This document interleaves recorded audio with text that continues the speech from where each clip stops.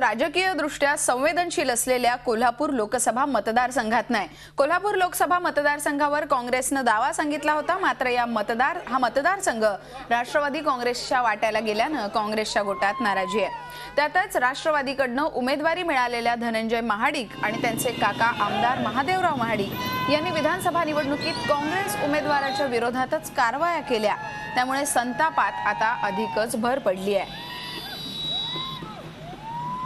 काँग्रेस आणि राष्ट्रवादी काँग्रेसची कशी आपापसात हाणामारी आहे हे आपण गेले अनेक वर्ष कोल्हापुरात पाहत आलो या सगळ्याबद्दल चर्चा करण्यासाठी आपल्या बरोबर आपले प्रतिनिधी प्रताप नाईक आहेत. आपण थेट कोल्हापुरात जाऊयात.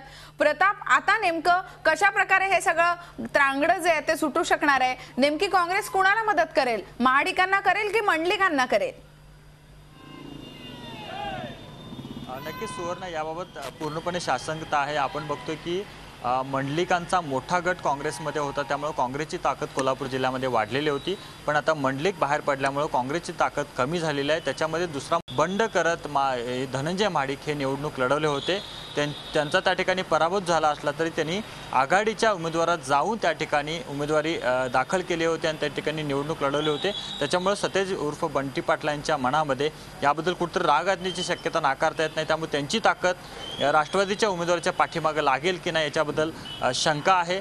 दुसरं करवीर विधानसभा मतदारसंघातसुद्धा अशाच प्रकारचं हे सगळं राजकारण झालं होतं.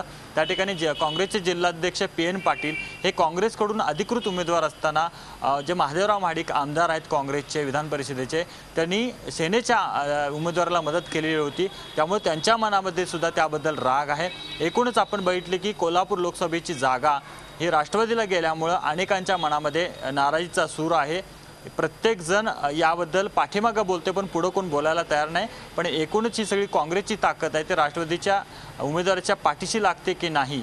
याबद्दल आता शंका निर्माण झालेली आहे. बरोबर आहे. काँग्रेस नेमकं कुणाला मदत करते हे पाहावं लागणार आहे. धन्यवाद प्रताप वेळोवेळी आम्ही तुझ्याकडनं याचा तपशील घेऊ. कोल्हापुरातलं गटातटाचं राजकारण हे विशेष संवेदनशील आहे आणि त्यामुळे हे गट तट ज्याच्या बाजूने उभे राहतील त्याच्या त्याच्या बाजूनं निकाल लागण्याची अधिक शक्यता असते. त्यामुळे हे गट तट अधिक डिसाइडिंग फॅक्टर्स ठरू शकतात. झी चोवीस तास. रहा एक पाऊल पुढे.